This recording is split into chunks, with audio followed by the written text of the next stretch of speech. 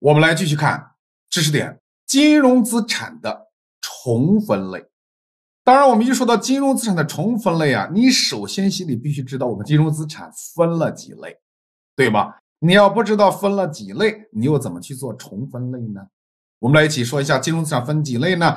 第一类叫以摊余成本计量的金融资产，第二类叫以公允价值计量且其变动计入其他综合收益的金融资产，第三类叫以公允价值计量且其变动计入。当期损益的金融资产，并且我们在金融资产分类的时候，我们这第一类金融资产，由于它有 SPPI 测试，并且单一的业务模式只为吃利息，所以注定了我们第一类金融资产它只能是债权，而第二类金融资产，它的一般情形仍然是符合 SPPI 测试，但是它的业务模式是双目标。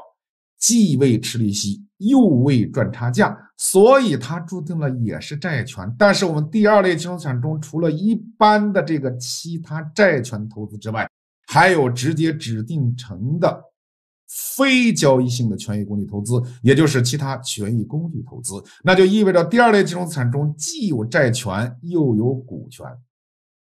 而第三类金融资产呢，由于它本身就是个兜底项。凡是债权投资，你划不到我们第一类、第二类里去的，那你就只能是第三类；凡是股权投资，你不指定为第二类的，那你也只能做第三类，或者是我们能划到第一、第二类里去的债权，我们愣选择了公允价值计量，转成第三类，化解会计错配，仍然是允许的。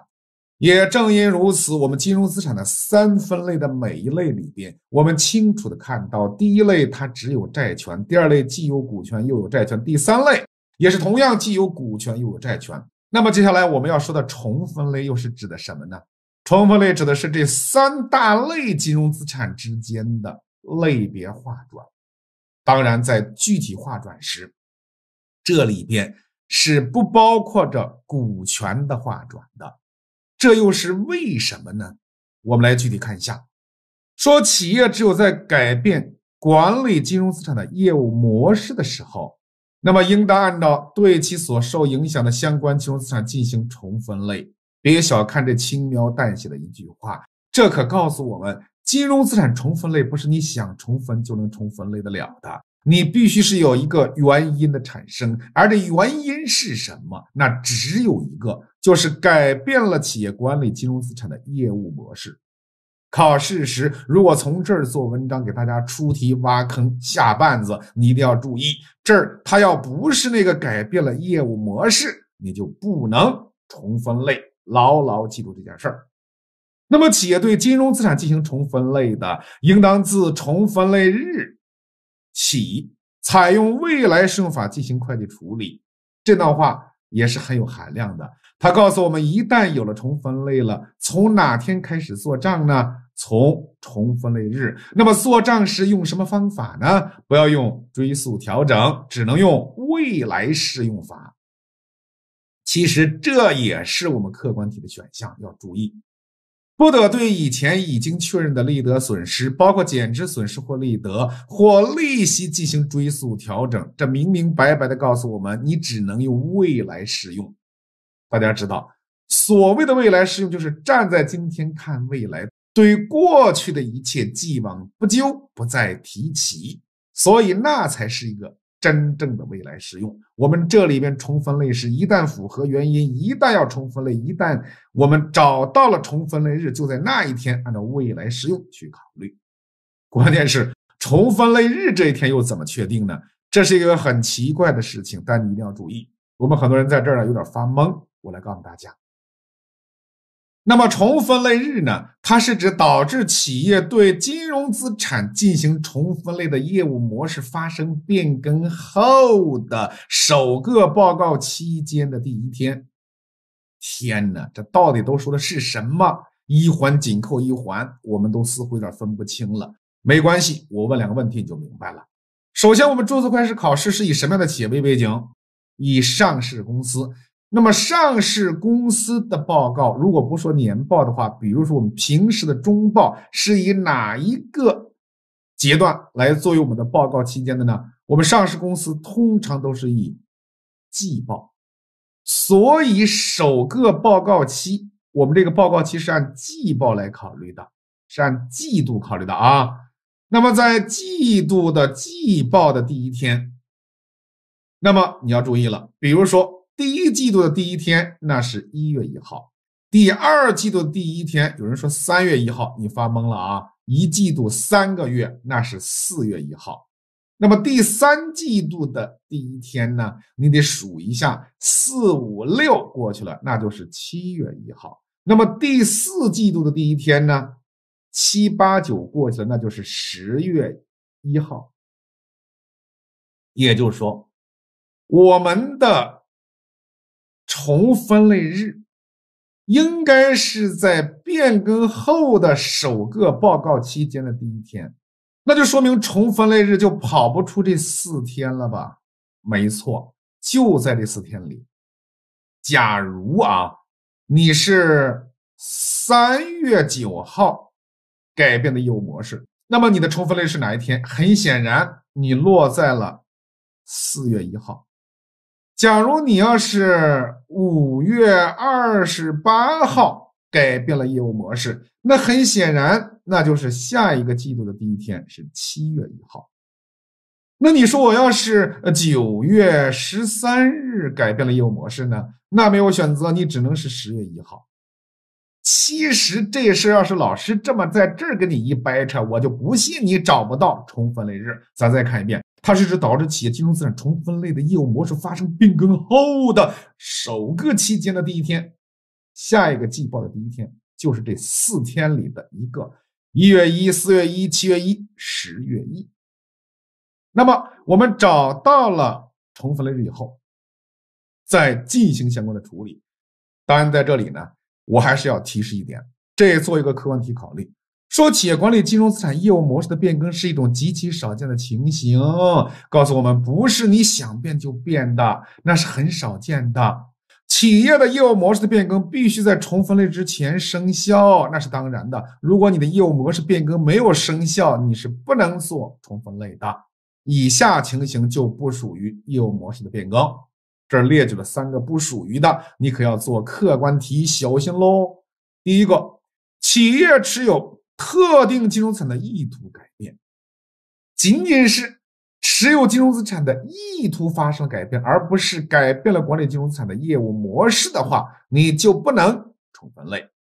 第二个，金融资产特定市场暂时性的消失，从而暂时影响了金融资产的出售的。第三个金融资产在企业具有不同业务模式的各部门之间的转移，不能算作你的重分类。这三件事儿你了解，做客观题的选项准备，因为在让你判断该不该重分类的时候，往往可能拿这三项中的一个来做干扰。我们继续看，那么在金融资产的重分类中，到底是一个怎么重分类呢？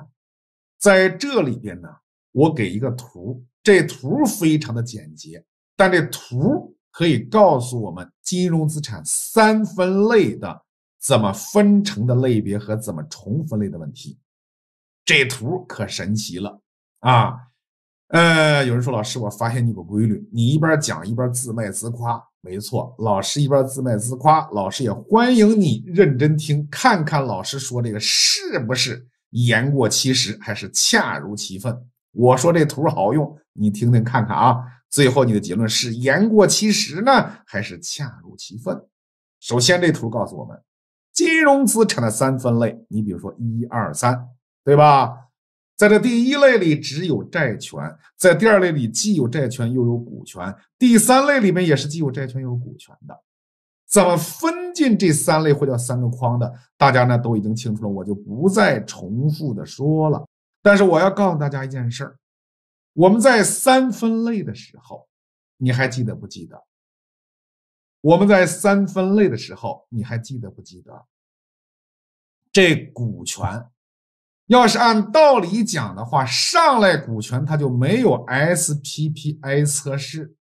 你说老师，那 SPPI 测试是啥来着？就是它不是满足支付本金和利息，因为股权何来的本金和利息呀？所以按道理上来，这个股权就得把它扔到第三框里去。但是我们的准则不是这样的一个僵化和这样的武断，而是给你说话的机会。我们的准则就问股权：你告诉我你是交易性的、非交易性的？股权马上回答：我交易性的。准则马上说了，交易性就别说了，去第三框吧。那这股权说：那我是非交易性的。准则问：你要是非交易性的，你想不想去第二框指定成以公允价值计量起计变动计入其他综合收益金融资产？股权说：我去那儿有什么好处呢？我为什么要去那儿呢？我要去那儿之后将来有什么后果呢？准则说了，去那儿没什么条件，你想去就能去，但是有一个后果你得承受，就是啊。一旦把你直接指指定成了以公允价值计量起变动记录其他综合收益的金融资产了，以后从生到死不许再碰损益，你能不能忍受？这个股权想了想啊，我还是能忍受的。一咬牙，哎，就去了第二框。从此之后，到了第二框，他就不再关注公允价值，他的公允价值变动只能记住其他综合收益，将来其他综合收益也只能转留存收益。总之，不让碰损益。当然，在前面给大家讲过，目前我们的准则有几个小特例，我给大家归纳了。那么，如果是非交易性的还不想进那第二框，那怎么办呢？也别无选择，只能进那第三框。但是说到这儿呢，我就把股权单独提出来，告诉大家，这股权呢进入了第二类，那是直接指定成的。直接指定成的时候，还有一句话。叫一旦指定不许撤回，所以你告诉我，股权成第二类之后还能撤回变第三类吗？所以股权就回不了第二类的股权，回不了第三类。而第三类的股权，如果你属于交易性的，你连想都不用想，就不能去第二类。如果你是非交易性的，你当初没指定成，你说我后续再指定，也是不允许你这样做的。所以，这个股权无论交易性、非交易性，总之股权之间就在第二类跟第三类之间这个通道给截断了。因此，我们得出的结论是，在金融资产的三分类里边，如果简单的说股权和债权的重分类的话，那我们能重分类的只能是债权，绝对没有股权。所以，接下来我们讲金融资产重分类时，那么我们的目标就集中了。无非就是第一类金融资产换第二类，这是债权之间；或者第二类转换成第一类，或者第一类转换成第三类，或者第三类转换成第一类，或者第二类变第三类，或者第三类变第二类。实际上有六种情形，但六种情形都是债权之间的充分类。你看，你这么一掰扯，这事儿难道不清晰吗？就这个小图，我们先完成了对股权的剔除，然后留下债权。我们知道它们之间是两两互换，一共有六种情形，或叫三对六情形。哎，这就是我们学习的规律和方法。刘老师呢，特别欣赏那些会考试的人。其实会考试的人呢，就是会学习的人。人家在那儿学一晚上，你也学一晚上。你学一晚上，除了困之外，什么都没剩下。人家学一晚上，归纳了好多东西，并且人家能够给你再传递出来，能教会别人。那么他怎么能学不会呢？所以啊，我希望现在电脑前的你，正在听刘老师的课的你，真的能明白刘老师的良苦用心。讲课这东西不在讲了多少知识，你不听课不在你听了多少遍，关键你是否走心走脑，是否有产出，你得把它产出啊。好，我们继续。前面呢，我们讲了金融资产分类的这种理念和思路，那接下来我们就来实际练习练习。首先拿出一对儿，这是一类和二类之间的。以后我一说一类和二类，你马上就想起谁是谁啊？这一类和二类之间是谁呢？一类是以摊余成本计量的金融资产，二类是以公允价值计量起变动计入其他综合收益的金融资产，但他们本身说的都是债权。那么一类金融资产重分类成第二类时，如果拿会计科目说，就是把债权投资重分类为其他债权投资。当债权投资重分类其他债权投资时，这里就是一变二的时候，我给大家讲一个原则，这原则可重要了，就是把你第一类金融资产的账面价值直接转成第二类。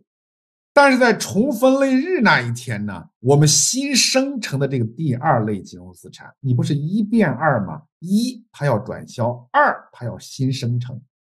你增加的这个第二类金融资产呢，用的一定是重分类那一天的公允价值来计量，也可以叫借记第二类。你看我说模型啊，你的分录一定是借记第二类，就是其他债权投资。那么你代记谁呢？你的贷方一定是结转的第一类是债权投资，而第二类用的是公允价值计量，这公允价值是重分类哪一天的？可是你结转的是谁呢？你结转的是原来第一类的账面价值。当公允和账面之间有差额时，我们把它记到哪儿去呢？我们把它记到 OCI。哎，这分录老师就给大家说完了。这就是我们说那个要把公允账面之差走其他综合收益。如果考试考这个点的话，我们的核心问题就是：首先，你新生成的其他债权投资，我们是公允入账；然后，公允账面之差，我们走的是其他综合收益。那么，要是把第二类重分类成第一类呢？我们来看一下原则。当把第二类重分类为第一类的时候啊，应当将第二类之前确认的其他综合收益给转出去，调整该金融资产在重分类日的公允价值，并以调整后的金额做新的账面价值，也就是视同该金融资产一直以摊余成本计量。这就是原则。什么意思呢？也就是说，你原来不是第二类吗？你告诉我，第二类金融资产可能都做过什么样的处理？首先，因为它是其他债权投资，它期末时曾经可能对公允价值进行过调整。当公允价值增加的时候，这个其他债权投资呢，它要借记其他债权投资公允价值变动，代记的是其他综合收益。当其他债权投资减少的时候呢，它要借记的是其他综合收益，代记的是其他债权投资。当然，明细科目都是公允价值变动，我相信你一定是知道的。比如说，老师我不知道，你赶紧知道，这样的内容非常的简单。也就是说，当然，老师我实在不知道，没关系，后边我还讲。但是已经说过内容，你尽量的要清楚。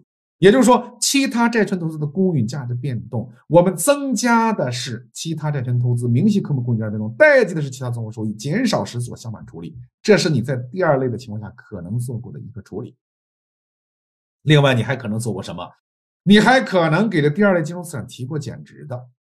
这你更应该注意，我们第二类金融资产提减值是特别特殊，怎么特殊呢？它的分录是借记信用减值损失，代记的是其他综合收益，再也没有它这么特殊的了。我们其他各项资产的减值，我们都是走的某某资产的减值准备。尽管我们递延所得税资产的减值，它是冲减的递延所得税资产，它就比较特殊的了，但是也没有特殊到这种特殊程度。就是说，你这个其他。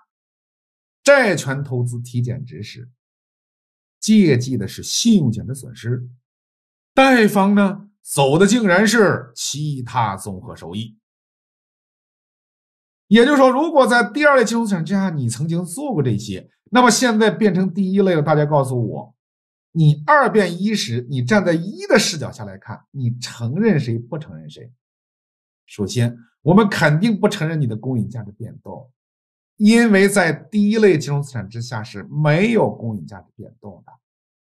第二件事儿，我们是承认你的减值的，因为第一类金融资产也有减值，但是我们绝对不承认你这个减值下的其他综合收益。那你不承认其他综合收益怎么办呢？我们说第一类金融资产减值的时候啊，它的那个分录应该是借记信用减值损失，代记的是债权投资减值准备。而你第二类减值呢，是借记信用减值损失，代记的是其他综合收益。现在借方都是一致的，你只需要把第二类的减值的贷方，其他综合收益变成第一类金融资产的减值的，叫债权投资减值准备，这就成了。好，我们来具体看一下有关的会计处理。首先，我们来看一下第一类金融资产转第二类的时候，或叫第一类金融资产重分类为第二类的时候，你看，借记其他债权投资，按照重分类日的公允价值计量，这不是第二类吗？这是新生成的。然后你贷方是债权投资，然后这是要结转的账面价值，这就是第一类。你的公允和账面之差。在贷方走其他综合收益，在借方时也要走其他综合收益的。当然，这里边呢，如果你有第一类金融资产的减值，你第一类金融资产减值是借信用减值损失，贷记的是债权投资减值准备。而现在你把第一类变第二类的，第二类也是承认你第一类的减值的，你可以把这债权投资减值准备呢变成其他综合收益。所以你借记的是债权投资减值准备，贷记的是其他综合收益。这是说。第一类、第二类的减值是互通互认的，只是把这个科目变一下。但是刘老师讲课时呢，刘老师更建议这第二笔分录不要单写的，你直接给它合到第一笔中来，你看得更清楚。为什么呢？当你把债权投资账面价值结转时，你贷记的是债权投资，你的借方是谁呢？是债权投资的减值准备呀。当你把准备放到借方时，你贷方这其他综合收益差额自然就把我们那个其他综合收益挤出来了。有人说老师这么不合理，因为其他综合收益有的是直接挤出的公允价值，有的是我们减值转来的，你怎么能混为一谈呢？这差额呀，我们说的是公允价值和账面之差，直接写个总差额，其他综合收益又有什么不好呢？所以你在这里写两个分录没毛病，你把这俩分录合在一起，那非常精准，就是用公允减账面差额走其他综合收益，别管出现借方还是贷方，都是其他综合收益。这是一变二，再来看二变一的时候，首先把债权投资之下的成本呢、利息调整啊、应计利息啊，一一对应的转到了其他债权投资里来。哎，你就都把它转过来，这就成了。这是第一步，先把这账面转过来，然后呢？把你在第二类金融资产之下曾经确认过那个公允价值变动给它冲回去，这叫冲回去，啊，这叫冲。你往回一冲的时候呢，你原来是增加其他债权投资的，那你的分录是借其他债权投资公允价值变动，代记其他综合收益。那现在你转回呢，你就直接做相反分录冲。有人说，那我当初要减少呢，那你就反过来喽。你当初减少时是借其他综合收益贷其他债权投资，那你现在就借其他债权投资贷记其他综合收益喽。总之这事儿是难不住你的，你只需要记住有一冲，这叫有一冲。二变一时有一冲，另外还有一还有一转，怎么转呢？你在第二类金融资产之下，你在第二类金融资产之下曾经计提过的减值啊，你的分录是借记信用减值损失。代记其他综合收益，但你第一类金融资产呢，应该是借记信用减损失，代记债权投资，债权投资减值准备啊，所以你就把这个信用减值准备转到债权投资减值准备中来。我们转的时候是借记其他综合收益，代记债权投资减值准备。你说老师，我也把这个分录给它上面合过去，不要合。二变一的时候走三步。先把账面对转，然后一冲公允变化，一转减值分录，这三步走你要单走，这样做才容易对。好，我们来看一道题目。我们来看一道题目：二零二零年一月一日，甲公司购入某公司于当日发行的面值为五百万元的债券，实地支付了价款五百二十万，另支付了相关交易费五万。债券票面利率百分之五十，利率百分之四，每年末支付当年利息，到期一次还本。甲公司将其划分为以摊余成本计量的金融资产。最重要的这句话在后边呢，就是说你一共花了五百二十加五这么多钱，你把它分成了第一类金融资产，那么它的入账成本是多少呢？当然是五百二十五喽。这是我们的入账成本。也就说，如果你写分录的话，你会借记债权投资成本，也就是面值五百，代记的是银行存款五百二十五。那么两者之差二十五，要走利息调整的。也就是这里有交易费用，交易费用也是要挤到利息调整中去的。所以说，其实这二百五百二十五啊，就属于你这债权投资的初始摊余成本了。那么我们这里的实际利率是百分之四，票面利率百分之五。等到后续你期末借记应收股利时呢，你要用面值五百乘以。票面利率百分之五，那叫五五二十五的应收股利。那么你要用这五百二十五的实际成本，或叫初始摊余成本乘以实际利率百分之四，你要算出一个是我们的投资收益。那么这个投资收益呢，应该是二十一。所以在第一年年末呀，你就可以从贷方。啊，从贷方挤出一个利息调整是四万。你说老师，凭什么利息调整一定出现在在在贷方是四万？后续要给大家讲的，因为你的差额在初始计量时，你花五百二十五，你的成本是五百，你的借方有二十五万的利息调整差额，你借方的利息调整差额在以后期间一定会通过贷方来分摊的。现在这四万贷方的利息调整就是分摊你当初确认的。借方的那二十五万的利息调整的一部分，在二零年的年末呢，金融资产的公允价值是五百一十五，因为是第一类金融资产，单纯从第一类本身来看，这五百一十五是没什么用的。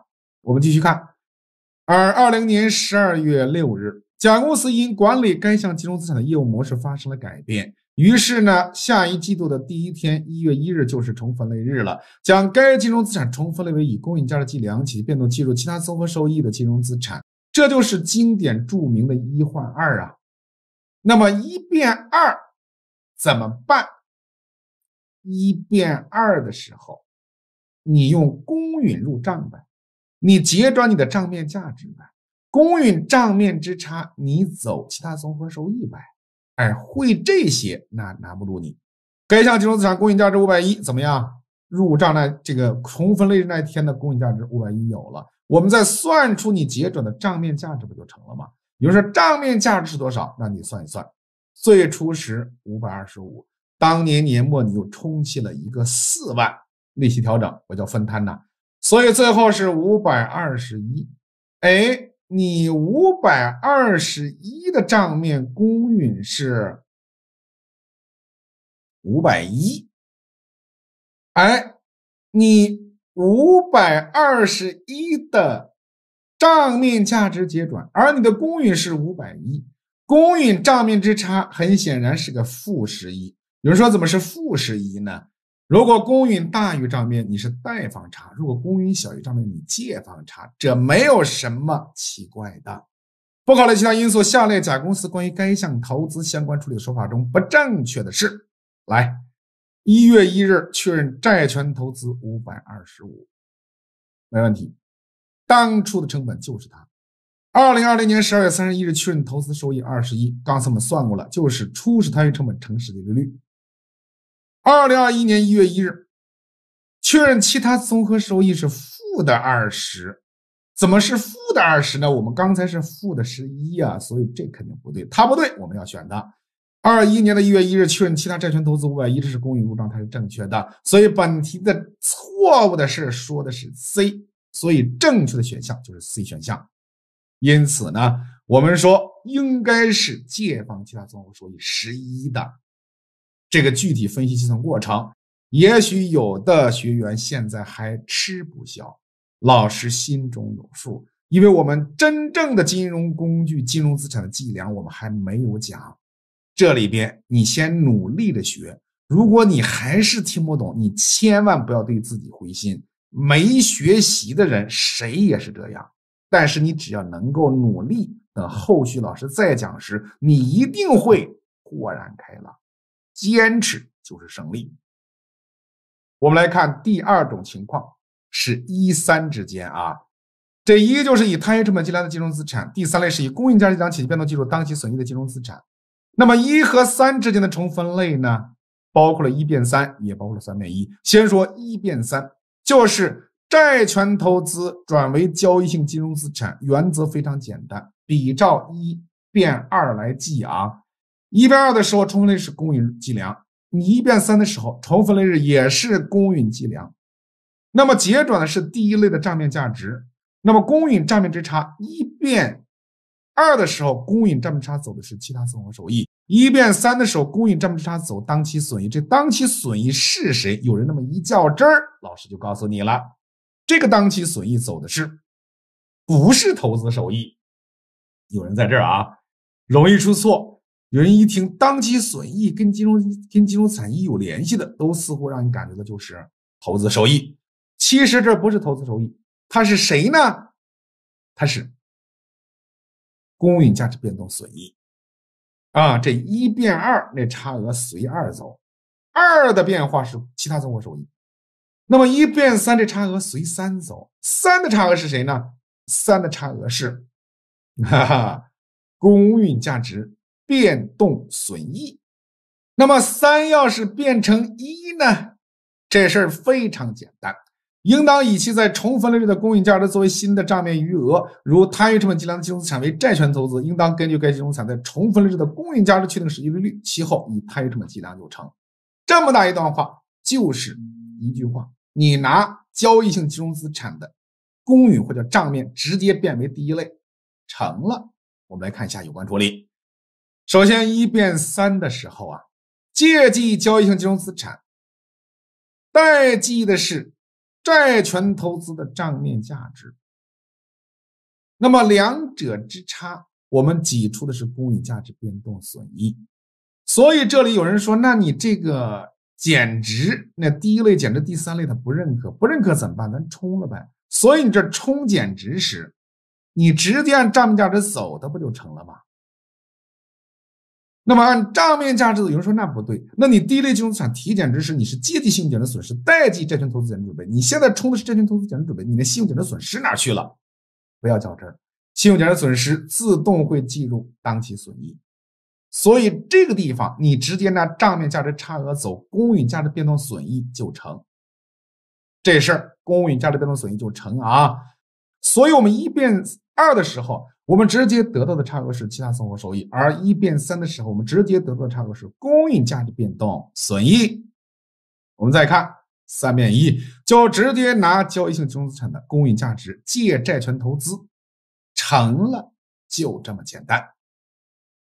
好，我们来看一道题目：二零二零年一月一日，A 公司以三千一百万元存款作为对价购买了 B 公司当日发行的一项公司债券。取得时，A 公司根据该投资的合同现金流量特征和业务模式，将其划分为摊余成本计量金融资产第一类。二零年年末，该项金融资产公允价值，公允价值是三千二，账面价值三千零六十五。这就是告诉我们，这项债权投资的账面价值有了，因为它没有给你面值啊，这个初始摊余成本呢。你没法通过计算找到期末账面价值，但如果一旦给了你有关信息了，你必须通过计算才能找到账面价值。这个账面价值是已知的。那么第一类的账面价值也有了，期末的公允也有了。二零年年末，那么你 A 公司管理该金融资产的业务模式，一定要业务模式发生变改变。A 公司将其重分类为以公允价值计量企业变动计入当期损益的金融资产，这叫一变三。二一年一月一日那一天是重分类日，该项金融资产的公允价值仍然是三千二，那非常简单了。我们在重分类日那一天借记第三类金融资产，我写个三，它的公允价值是三千二。那代记谁呢？代记的是第一类金融资产，它的账面价值是三千零六十五，在贷方有一百三十五的差额，这是谁呢？公允价值变动损益呗，啊，就这么简单，不考虑其他因素。下列说法中正确的是：A 公司应在二一年一月一日确认以公允价值计量起变动计入当期损益的金融资产三千零六十五，这是不对的，这是账面，不是公允。A 公司应在二一年一月一日确认投资收益一百三十五，这里边没有投资收益的问题。那么 A 公司应该确认公允价值变动损益一百三十五，这才是没毛病。那么 A 公司应该确认其他综合收益，这根本就没有其他综合收益的事儿。所以，我们就要注意这差额，既不能走投资收益，当然也不是其他综合收益，它一定是公允价值变动损益。所以，本题的正确选项为 C 选项。我们来继续看，第三组是二三之间。作为二三之间呢，首先我们先说这二和三。其实啊，这二和三之间略微有些复杂。为什么呢？因为第二类金融资产是其他债权投资，第三类金融资产是交易性金融资产。它们本身都是以公允价值计量的，有人说都是公允价值计量，不就简单了吗？是的，虽然说从公允价值的视角来看，它们都是相同的公允价值计量，好像简单了，但是有些问题还是非常复杂。我们一一的说来。首先呢，在第二类金融资产之下，你是否曾经有过公允价值变动呢？会计说：“我这有。”第二类金融资产，我的其他债权投资公允价值变动时，我借记其他债权投资，明细科目叫公允价值变动，代记的是其他综合收益。价值下跌时，我做相反的处理。我曾经做过。好的，那么你第二类金融资产这个公允价值变动，我接着问，人家第三类认可不认可这事儿呢？哎，人家第三类也认可，第三类也有公允价值变动，但是。人家第三类公允价值变动用的是公允价值变动损益，你这儿呢是其他综合收益，那怎么办？既然你二变三了，那你就得接受这个条件，你要把你第二类金融资产之下那公允价值变动形成的那个其他综合收益转换成公允价值变动损益，这是第一个要转的。另外，在第二类金融资产之下呀。你还可能提过减值，并且你那减值啊可特殊了，特殊在哪儿呢？借记信用减值损失，代记的是谁？其他综合收益，OCI 啊，太特殊。那么，请问我第三类金融资产之下有没有减值的问题？第三类绝对没有。那没有怎么办？没有就把你第二类曾经提过的减值没说的，你给我冲回去。实际我们发现，第二类变第三类时，也仍然是一冲一转呐。这里冲的是谁？冲的是你的减值。这里转的是谁呢？转的是你的公允价值变动啊。那现在我们就冲回去。你说冲我还不会吗？提的是我借信用减值损失，贷其他综合收益。我冲的时候，我做相反处理，借其他综合收益，代记信用减值损失。恭喜你回答错误。注意啊，我们把第二类金融资产减值，因为重分类为第三类的时候。把第二类金融资产的减值冲减或者对冲的时候，我们借记的是其他综合收益，一点错都没有。但是代记的是谁？绝对不是信用减值损失，应该是公允价值变动损益，一定是公允价值变动损益啊！好，我们来看一下原则。先说二变三的时候，应当继续公允价值计量，同时且应当将之前确认的其他综合收益，哎，转入当期损益。他是没说，如果之前有减值的话，减值也要把它转到，哎，把其他综合收益变成公允价值变动损益。总之，你变成第三类了，你的差额都要随着公允价值变动走。那第三类充分为第二类呢？这三回二的时候特简单，就跟三变一一样，直接拿公允价值计入其他债权投资，这事就成。我们来看一下有关的分录。首先，二变三的时候啊。借记交易性金融资产，这是那第三类；代记其他债权投资。然后你把公允价值变动的其他综合收益转公允价值变动损益，可能借其他综合收益贷公允价值变动损益，也可能做相反的处理。把你第二类金融资产之下曾经计提过的减值转过来的时候，借记其他综合收益，这是信用减值准备；代记的是公允价值变动损益。看见没有？二变三的差额，我们只能走一个。公允价值变动损益，似乎我们注意到，这个一变三差额公允价值变动损益，这二变三这差额也是公允价值变动损益。哎，好像都是这么一个感觉。没错，我们是这样的。只有那二变一的时候，二变一的时候呢，我们该冲的冲，该转的转。好的，把这些内容啊，你通过比较的方式来理解和掌握，这事儿就不难。那接下来我们再说三变二的时候，同样的三变一直接过去，三变二的时候借其他债权投资代交易性资产。那说到这里呢，我就把三个内容之间的相互分类，叫三大类六情形讲完了。刚才是一组一组的说，你感觉有点凌乱，刘老师有招儿。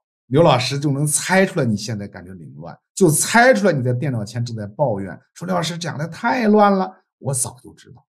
那现在刘老师有一招，你要学会这事也也容易。但是刘老师这绝招啊，不能上来就用，得有得让你有点基础之后再用，你才有感觉。你说老师，我上来就听你绝招，你听不会。你在前面忍受了这么一段之后，老师作为奖励教你个绝招。相信你一下子就能开悟的。我们三分类，刘老师有一发，这不是三类金融资产呢？我们分别从一二三出发，找个最简单的让你高兴一下。从三出发时，三可以变谁？三可以变一，三还可以变谁？三可以变二，还有别人吗？没了。告诉大家，三变一、三变二的时候，他们有差额吗？没有。他们有别的调整吗？没有。就一件事儿，拿你第三类的金融资产直接计入债权投资或其他债权投资，成六类里的两类，一句话解决。这是绝招之一。想不想听？想听继续。咱接下来再从一出发。比如说，你为什么不说二呢？你别着急，你从一出发时，一去哪儿？一去二，一去哪儿？一去三。哎，刘老师的绝招是告诉你，你就记住差额就行。一去二的差额是其他综合收益，一去三的差额是公允价值变动损益。成了。你说，哎，就就就这么快啊？啊，就这么快啊？那那一，那再再最后一个，再从二出发。二出发有点复杂啊，但是呢，也没那么复杂。二变一，二变三，对吧？二变一的时候啊，你注意，先把其他债权投资的账面转到债权投资，这是第一步。第二件事，把你第二类金融资产之下的其他综合收益，你不是有公允价变动吗？你冲回去，因为第一类没有，人家不需要公允价变动，所以你冲回去。那么第三件事是把你第二类金融资产之下的减值，其他综合收益，你把它换成债权投资减值准备，转换成债权投资减值准备就成了。所以当你二变一的时候，除了账面价值直接转之外，你记得有一冲有一转，这事就成。那么如果二变三的时候呢？那么如果二变三的时候呢？这个二变三的时候啊。也差不多有这三件事儿。嗯，首先呢，把你第二类金融资产的其他债权投资账面价值转到交易性金融资产，这第一件事完成了吧？第二件事呢，把你第二类金融资产之下的那个谁呢？那个曾经有过的公允价值变动，你给它从其他综合收益转成。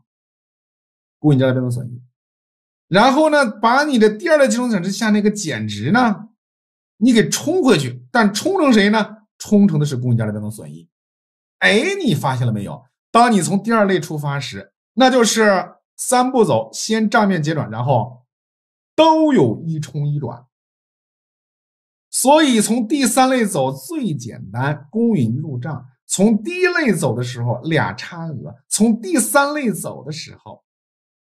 三步都有一冲一转，这六种情形，刘老师教你这绝招，你可记下了。你要记下了的话，你就从一一二三，你还想不起来吗？你说我啥也想不起来，你想起医疗吧，你想一到二三吧。你要想起来一二三，你想起来三分类，你就可以在自己在这儿，就像刘老师啊，这叫什么？告诉你，刘老师，这叫思维导图。有人说，刘老师你别来了，这还叫思维导图吗？这就是你思考的过程，怎不是思维导图呢？你要再往前推，这三类金融资产是怎么来的？那分类都过来了，就这么学，你散乱的知识必将成为体系。努力吧！我们来继续看单项选择题。二零二零年一月一日，甲公司购入某公司于当日发行的面值为五百万元的债券，实地支付了购买价款五百二十万，另支付了交易费五万元。债券的票面利率百分之五，年利率百分之四，每年年末支付当年利息，到期一次还本。甲公司根据管理该种产业务模式和现金流量特征划分为，因为这题前面用过，所以咱就找关键词划分为谁呢？公允价计量体系变动计入其他综合收益的金融资产，用一个号标一下，它是第二类。当初第二类，二零二零年年末，该金融资产的公允价值是五百三十万，啊，初始让成本。五百二十五，后面是公允价值变动五百三。二零二零年年末，甲公司因因为管理该项金融资产的业务模式发生了改变了，那么该项金融资产重分类为以公允价值计量起变动计入当期损益的金融资产。马上看到，这叫二变三呢。二变三，从二出发比较复杂，要做三件事：一，把账面结转；二，要把二的减值要给它转成公允价变动损益；三。要把你的平时公允价的变动转成公允价值变动损益。该项金融资产的公允价值是五百三，不考虑其他因素。下列甲公司关于该项投资相相关处理的说法中，正确的是，这里边重分类日确认了公允价值变动损益，给人感觉似乎有门这里确认的公允价值变动损益，一个二十，一个九万，看来好像是这里中的一个，因为另外两个都是投资收益，显然我们是不确认的。重分类日这里边，因为二变三的时候，无论是减值还是平时的公允价值变动，我们都要走公允价值变动损益的。所以，我们从直觉判断，用排除的方式，这里可能在 A 和 B 之间选一个。你要有这种思维，考试时你也已经很厉害，因为你还没做题，已经排除了一半的障碍。好，我们来继续看，答案当然是 B 选项。为什么是 B 选项呢？来一起看。债券的初始让价值是五百二十五，那么年末确认的投资收益是二十一，所以呢，年末的摊余成本呢就是五百二十五啊，再减去七十，再减去四，因为我们会算出个利息调整四万的，这就不说了，五百二十一，那么年末的账面价值是五百三了。也就是说，在第二类金融资产之下，曾经有过一个五百二十一和五百三之间的问题，因为你第二类金融资产要把这差额九万确认为其他综合收益的，所以在你重分类之前呢，你曾经确认过一个其他综合收益，那你重分类日的时候呢，就把这其他综合收益给转成公允价值变动损益就够了。那老师你说的不是一冲一转吗？那这不就一转呢？那冲呢？冲是说有减值，这道题没告诉减值，就一转就成了。没告诉你减值，你老冲什么呀？就是一个转啊，转过来九万，所以本题的正确选项就是九万喽。哎，所以本题正确的选项是 B 选项。好，我们来继续看金融负债的分类和重分类。我们啃下了金融资产重分类这块硬骨头，为什么叫硬骨头呢？其实它本来没这么难。我们教材也好，我们这课程也好，没办法，因为我们的计量还没讲，在这儿有计量。按说这要先说完分类，等到你把计量都学完了，再去说这段核算应该容易一些。所以初学者一定吃力。但是我们考注会，它有个假设，能考注会的都应该有一定基础。最少对会计都有一个感觉特别自信，否则谁敢考你这注会呀？所以注会的教材他就把这核算放在前面了。老师呢也就先这么讲着。如果对这重分类分录你拿不下的话，也别着急，到后续慢慢的拿下。我们看金融负债的分类和重分类。首先，作为金融负债的分类呢，通常分为以摊余成本计量的金融负债和以公允价值计量起变动计入当期损益的金融负债。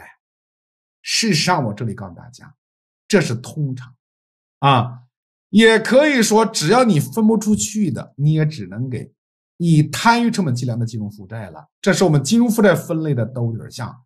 它就像我们金融资产那个第三框一样，它是个兜底的，你能往外分你就分，分不出去你叫贪余成本计量。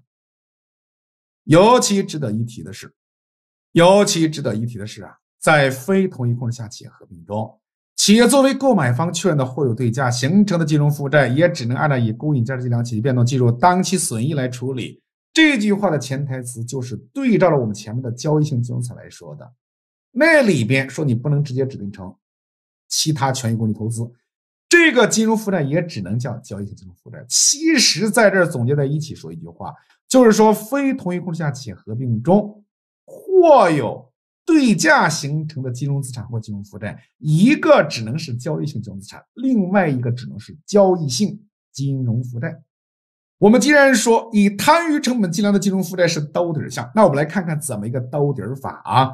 说除下列各项外，下列是谁？说的是一二三这下列，应当将金融负债重分类为摊余成本计量的金融负债。这不就是告诉我们它是兜底的吗？就是说，你面对着一项金融负债，你先往外分，分不出去，你放到这儿，先往外分谁？第一个，以公允价值计量起计变动计入当期损益的金融负债，包括交易性金融负债和直接指定为以公允价值计量起计变动计入当期损益的金融负债。就是说，你能分成这个类别的就分出去，分不出去的，看看还符合不符合。下一个说不符合终止确认条件的金融资产转移或继续摄入被转移金融资产所形成的金融负债，这个继续摄入资产和继续摄入负债。哎，第三个是部分财务担保合同以及不属于以公允价值计量起变动计入当期损益金融负债，以低于市场利率贷款的贷款承诺。有人说老师我不太懂，没关系。贷款承诺和合同担保，你知道是负债就够了啊！将来他们还有减值呢，这负债有减值，对它有减值，你就知道他们是负债。也就是说，一个金融负债分不到上述这三种情况中去的，做什么？做摊余成本计量的金融负债。当然了，如果面对了一项金融负债，企业你选择了公允价值计量，你有公允价值选择权，你选择了。已经做出不得撤销。比如说，什么是选择？所谓选择，就是直接指定成以公允价值计量体系变动计入当期损益的金融负债，直接指定成是可以的，并且这类金融负债在具体核算时还有个特殊情况呢。这个特殊情况我们后续再说啊。它的公允价值变动如果因为自身信用风险引起的，它应该走其他综合收益。有人说老师，你不是说后边说吗？我先说一句啊，走其他综合收益啊，这个当然。如果引起错配的话，也还可以走公允价值变动损益。就说这么多啊，这是后续还要讲的，但特别重要。总之一句话，如果你直接指定了，也不得撤销。特别值得一提的是，大家要做课问题掌握啊。企业对所有金融负债均不得重分类，这事儿跟金融资产绝对不同。金融资产有重分类问题，金融负债没有。我们来看一道题目，下列。关于金融工具重分类的说法中不正确的有：企业对所有金融负债均不得进行重分类，正确不选；金融资产之间进行分成分类的，应当采用未来适用法进行处理，正确不选。